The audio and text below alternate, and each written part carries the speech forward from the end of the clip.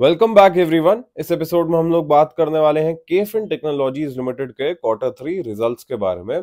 देखिए केफिन टेक्नोलॉजीज़ का सबसे पहले हम लोग यहाँ पे बिज़नेस डिस्कस करते हैं। देखिए कंपनी जो है यहाँ पे सर्विसेज़ प्रोवाइड करती है फाइनेंशियल मैनेजर्स को फाइनेंशियल कंपनीज़ को एसेट मैनेजर्स को कॉर्पोरेट इशूअर्स को, इन सबको जो कंपनी है यहाँ पे सर्विसेज़ प्रोवाइड करती है।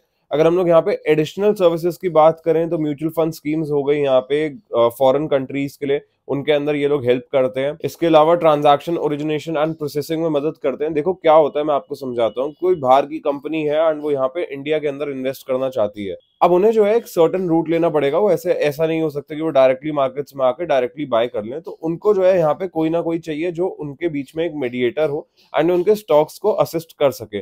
तो उसका भी कंपनी जो है यहाँ पे बिज़नेस करती है, जिसका एक अच्छा पोर्शन आज ये एंजॉय कर रहे हैं। बिकॉज़ इंडिया जो है फर्दर भी अगर आप देखेंगे आने वाले कुछ सालों में भी देखेंगे तो फॉरेन इन्वेस्टमेंट्स यहाँ पे काफ़ी ज़्यादा अट्रैक्ट हो रही है एंड काफ़ी ज़्यादा अट्रैक्ट होते हुए भी नज़र आ सकती है। तो उससे क्या है पोजिशनिंग बहुत अच्छी है कंपनी की। अब अगर हम लोग यहाँ पे बात करते हैं कि ये लोग कैसे मदद करते हैं एसेट मैनेजर्स को या फिर जितनी भी ये कॉर्पोरेट इशूअर्स कंपनी होती है तो उनको ये लोग मदद करते हैं यहाँ पे सबसे पहले तो बुक रनिंग के अंदर। तो ये जो है कहीं ना कहीं बुक रनर्स को हेल्प करते हैं इस प्रोसेस के थ्रू जिससे चीज़ें जो है उनके लिए भी इजी होती है बिकॉज़ एक आईपीओ एक कंपनी जब पब्लिक जाती है तो काफ़ी सारे कंपोनेंट्स होते हैं जो यहाँ पे लगते हैं। तो वो जो है, एक इंपॉर्टेंट फैक्टर है यहाँ पे। देखिए, अभी जो सीज़न है, बहुत बढ़िया सीज़न है बिकॉज़ मार्केट जो है काफ़ी ज़्यादा ऊपर है इस समय पे एंड यहाँ पे हम लोग काफ़ी ज़्यादा आईपीओ को भी विटनेस करते हैं। तो सेम चीज़ यहाँ पे हम लोग देख पा रहे हैं, जिसकी वजह से हमें सेल्स पे भी एक अच्छा इफ़ेक्ट देखने को मिला। 219 करोड़ के सेल्स यहाँ पे हमें देखने को मिले दिसंबर 2023 में या फिर क्वार्टर थ्री रिजल्ट्स में। ऑपरेटिंग प्रॉफिट मार्जिन हमें 45 परसेंट तक नज़र आया बिकॉज़ यहाँ पे कंपनी जो है कहीं ना कहीं एसेट लाइट बिज़नेस पे ही है। बहुत ज़्यादा कैपिटल रिक्वायर्ड नहीं होता है इस बिज़नेस के अंदर। ह्यूमन रिसोर्स जो है, वहाँ पे ज़्यादा पैसा लगता है। एंड वो एक इंपॉर्टेंट फैक्टर है जो यहाँ पे आपको देखना है। वही नेट प्रॉफिट की बात करें तो वो 67 करोड़ तक हमें देखने को मिला। देखो अल्टीमेटली तीनों ही चीज़ें जो है, तीनों ही मेट्रिक्स जो है यहाँ पे ऊपर के एंड पे देखने को मिले, जो कि एक बहुत अच्छा पॉइंट है।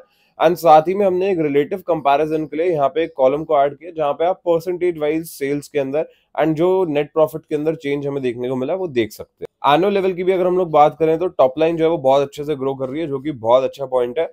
बॉटम लाइन यहाँ पे अच्छी है फोर्टी परसेंट के आसपास के मार्जिन बन रहे हैं तो इतने मार्जिन जो है वो सॉफ्टवेयर बिजनेसेस में ही ज़्यादा बनते हैं एंड आईटी कंपनीज़ ही बना पाती हैं जनरली ये जो बाकी कंपनीज़ होती है जिनके अंदर कैपिटल रिक्वायर्ड होता है, वो इतने मार्जिन नहीं बना पाते हैं ऑपरेटिंग लेवल पर। नेट प्रॉफिट की भी बात करें तो उसमें हमें एक अच्छी ग्रोथ देखने को मिली। बट देखो, आपको एक पॉइंट पता है क्या समझना है कि अभी मार्केट के लिए बहुत अच्छा टाइम है।